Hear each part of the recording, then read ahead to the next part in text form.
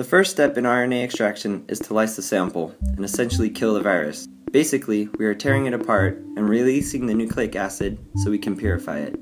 What you see here is magnetic bead based extraction. The beads bind to the nucleic acid and the magnet pulls the beads out of solution, which purifies the sample.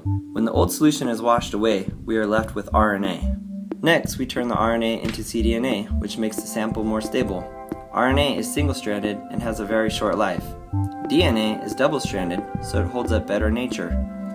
We turn RNA into cDNA by adding a master mix of random hexamers and enzymes that cling to spots on the RNA and amplify it.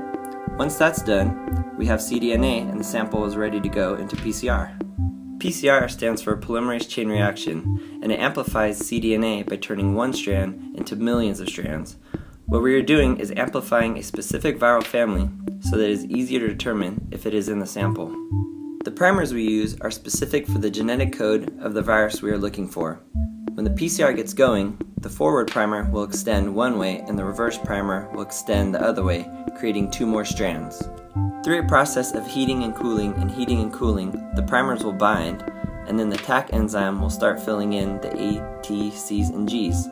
That's how amplification leads to exponential growth. When PCR is done, we add dye to the samples and put them into the wells of a gel. Then we run a current through the liquid and the samples separate based on their size. For example, something that's 200 base pair, like herpes virus, will go through the gel a lot faster than something that's 600 base pair, like filovirus.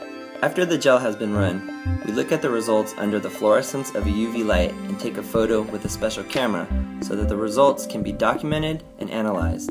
If we have some positive samples, we often purify them and send them off for sequencing to learn the exact genetic makeup.